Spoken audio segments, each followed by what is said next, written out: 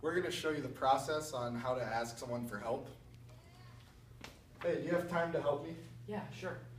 I'm new to this school and I don't know where the library is. Could you help me find it? Yes, just do that door down there. Okay, thank you for your help. Step one of of asking for help, look at the person. Step two, ask the person if they have time to help. Step three, clearly explain the kind of help you need.